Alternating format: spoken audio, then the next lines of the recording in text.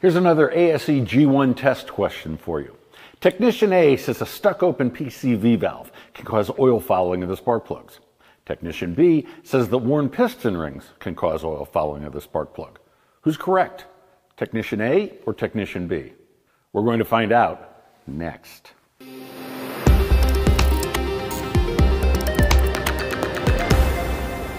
This video is sponsored by Autolite, manufacturers of high quality spark plugs since 1935. Visit Autolite.com for more information.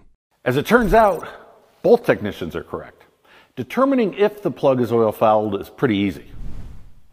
Just smell the plug. It'll smell like engine oil. Determining why the plug is oil fouled may take a little more work. The oil can come from the piston rings, valve stem seals, or the positive crankcase ventilation system. Leaking piston rings can be diagnosed with a leak down test. If one cylinder has oil fouling, a relative compression check can help to assess mechanical issues with that cylinder. Beyond the oil getting past the rings, the oil trapped in the rings can become carbonized and cause damage to the cylinder walls. This can lead to even more damage and more oil consumption. In some cases, the oil consumption results in a low oil condition that will cause damage to the bearing surfaces. Malfunctioning PCV systems are becoming a leading cause of oil fouling in modern engines.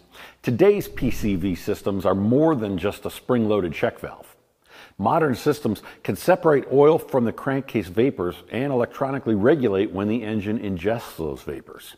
Some PCV systems have a heater to ensure that the valve does not freeze under certain conditions when condensation is present. If the valve does freeze, it can cause higher than normal crankcase pressure. This can cause oil to be forced past the valve seals. If the PCV valve is stuck open, the excess vapors and oil droplets can quickly foul the spark plug. Remember, use all of your senses and you'll be able to solve your problems easier. I'm Doug Kaufman. Thanks for watching.